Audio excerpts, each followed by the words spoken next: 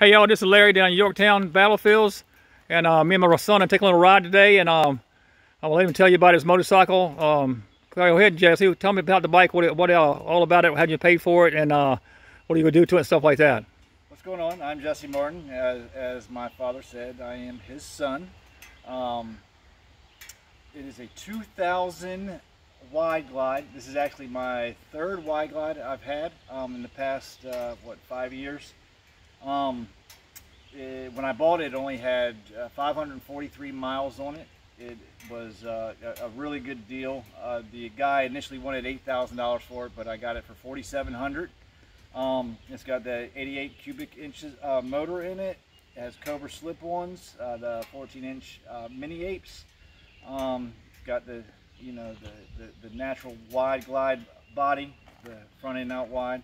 Um, I just put some uh, running boards on it for a more comfortable ride on uh, long rides, and it makes a world of difference. They don't look as good, but uh, it's not always about looks when, when you're riding uh, on a daily basis. Um, it's basically a brand new bike, man. It, it, the guy that I bought it from, uh, it was stored for, for almost 20 years. He had a scare, didn't put any miles on it.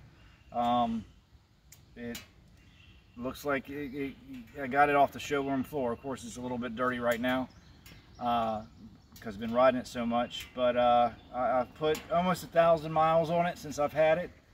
Um, I think pretty much I, want to keep it as stock as possible. I will get a new seat. I am not a fan uh, uh of the the classic look um, Softail seat.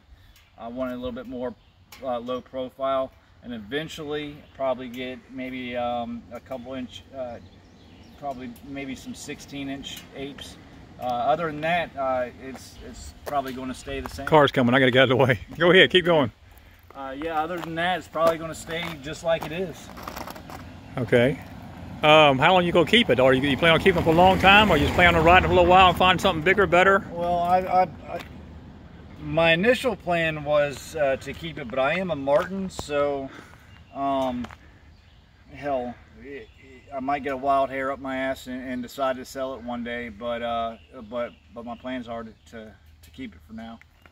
Okay. What do you think about us going to uh, uh, Vamm 21 in uh, about three weeks? Yeah, I um, I'm excited. Uh, you know, I've been watching a lot of videos on the the the, the roads, and, and it looks like it's going to be a lot of fun. I can't wait to test to see how this thing is going to do on it. Okay, um, I can't wait either. It's uh, let's see, June uh, 10th, 11th, 12th, and 13th, and uh, we already got a room. We had it. Uh, how long? When, how long ago did we uh, brother oh, we, got, we got that room about three months ago. I think.